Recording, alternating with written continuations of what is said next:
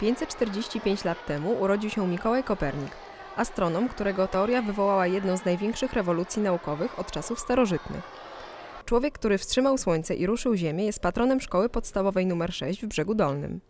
Polski astrolog zajmował się nie tylko astronomią, ale również matematyką, prawem, ekonomią czy medycyną.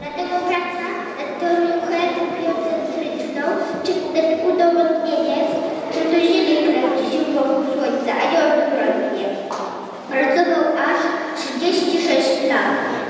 Mikołaj Kopernik był uzdolniony w wielu dziedzinach, a więc grono pedagogiczne Szkoły Podstawowej nr 6 na cześć 545. rocznicy jego urodzin po raz pierwszy zorganizowało konkurs talentów, do którego każdy uczeń mógł zgłosić kandydaturę i zaprezentować swój talent. Szanowna komisja, która zaraz się tutaj nam pokaże, wybierze tą największą gwiazdę kopernikową i mam nadzieję, że tak co roku kolejne gwiazdy będą nam się pojawiały. Można było podziwiać talenty wokalne w wykonaniu młodszych i starszych uczniów.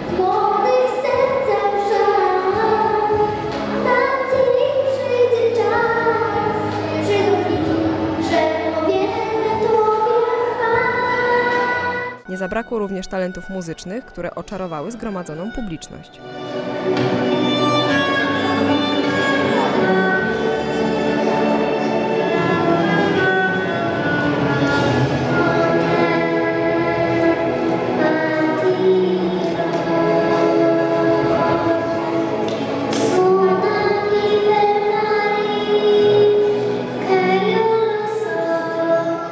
Młodzież zaprezentowała pokazy taneczne, gimnastyczne czy sportowe.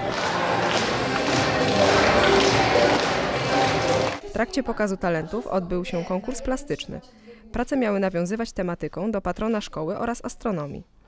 Jury w składzie Renata Karpiak, Krystyna Martyniuk i Ewa Matysek-Bursztynowicz oceniało prace plastyczne oraz występy uczestników. Wyróżnienia w postaci dyplomów i upominków rozdawane były pod koniec konkursu.